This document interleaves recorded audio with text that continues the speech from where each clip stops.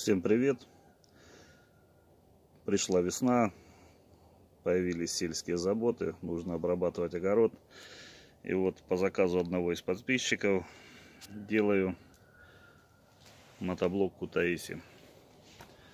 Сделал переходную планшайбу, соединил КПП с двигателем 13 лошадиных сил человеку захотелось избыточную мощность у мотоблока, так как у него свои планы на этот мотоблок. Произвел окраску, замена сальников полностью. Стоит альтернативное сцепление, поэтому планшайба такой длины. И плюс еще длинный коленвал у этого движка. Вот. Такой кратенький обзор на будущий мотоблок. Пока коробка и двигатель.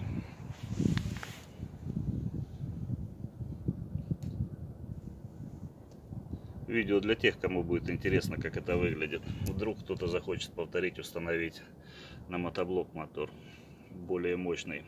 Потому как многие считают, что мощности достаточно 6,5 лошадей.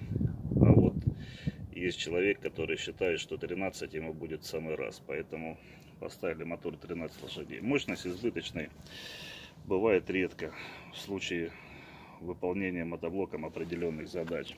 А вот нехватка мощности, это уже печально, когда ее не хватает.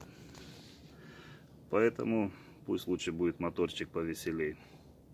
Такой вот кратенький обзор состояния мотоблока. Сальники заменены, подшипники, коробка вращается легко, двигатель заводится с легкостью. Есть датчик уровня масла. На эти мотоблоки э, любят они, чтобы уровень масла был гораздо выше, чем указано в заводе изготовители.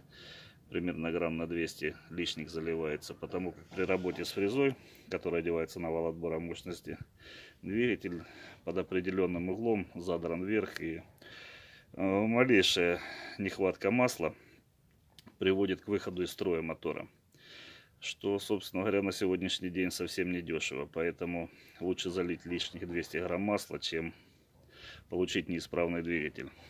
Вот такая вот история. Всем благ и добра. Подписывайтесь на канал.